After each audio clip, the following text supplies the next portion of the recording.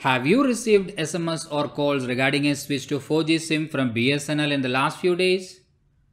If you are planning to change the SIM, watch this before you switch your SIM because the executive might not tell you this.